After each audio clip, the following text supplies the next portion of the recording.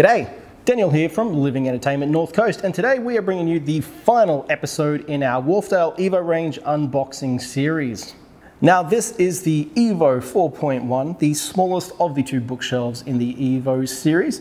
And unlike its big brother, the 4.2, this is a two-way speaker as opposed to a three-way, which, given its size, is not a surprise. Now, I'm extra curious about this particular speaker because of its size, and that's mainly due to the fact that the other speakers in the range that we've looked at, they have a very distinct aesthetic, and I'm really wondering how that's going to translate to something that's been shrunken by such a large degree. But there's only one way to find out, that's to have a look.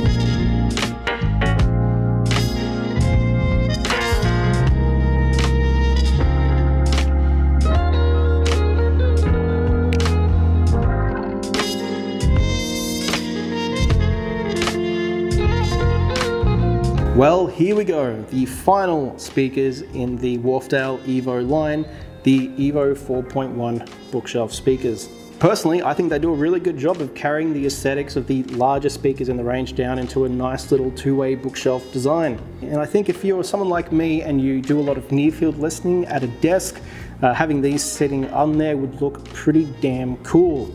Hopefully I actually get the chance to take these home and test them for a little while and, and who knows, I might even make a little follow-up video on these down the road. We'll see.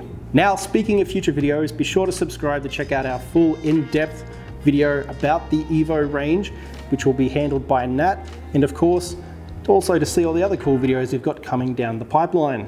Now, as always, if you have any questions about the little Wharfedale Evo 4.1s here, or indeed any other product we have here at Living Entertainment, please be sure to contact us either via the comment section down below.